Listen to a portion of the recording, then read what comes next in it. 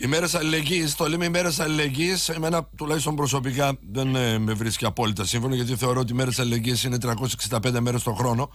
Αλλά ε, κοιτάζουμε τουλάχιστον και αυτές τις μέρες να ρίχνουμε το βλέμμα μας αυτήν τη φορά προς την κυβωτό του κόσμου, να βοηθάμε όσο μπορούμε όσους έχουν ανάγκη.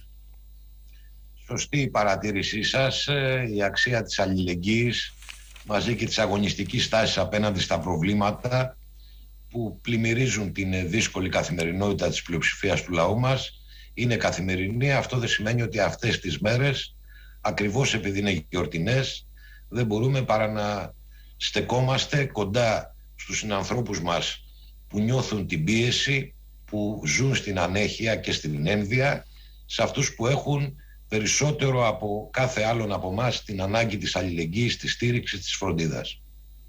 Εγώ θα έλεγα και κάτι άλλο ή θα ήθελα μάλλον να συμπληρώσω σε αυτό που έλεγα.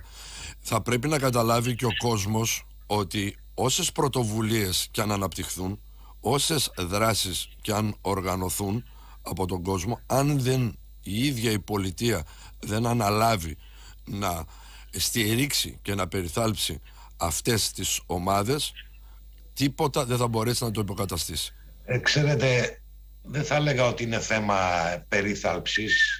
Είναι θέμα μιας πολιτικής. Ναι, περίθαλψη το λέω με τη στενή έννοια του όρου. Η οποία είναι βαθιά ταξική, αντιδραστική. Έχουμε να κάνουμε με ένα κράτος που δουλεύει για τους λίγους. Αυτές τις μέρες συζητάμε ένα προϋπολογισμό και βλέπουμε ότι το 95% των 50 δισεκατομμυρίων φόρων θα βγει από το λαϊκό εισόδημα και μόλις το 5 από τις επιχειρήσεις.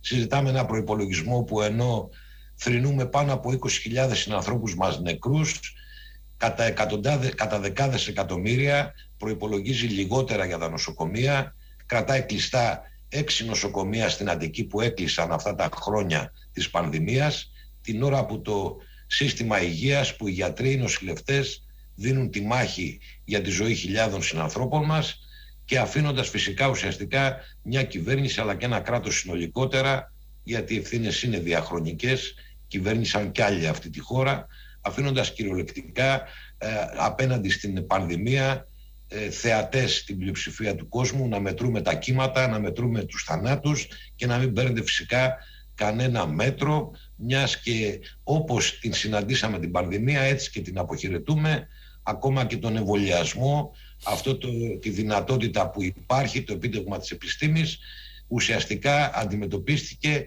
με μια λογική από την κυβέρνηση ατομικής ευθύνης, μια λογική η οποία αν θέλετε έχει χρεοκοπήσει αυτά τα δύο χρόνια της πανδημίας που ζει ο λαός μας.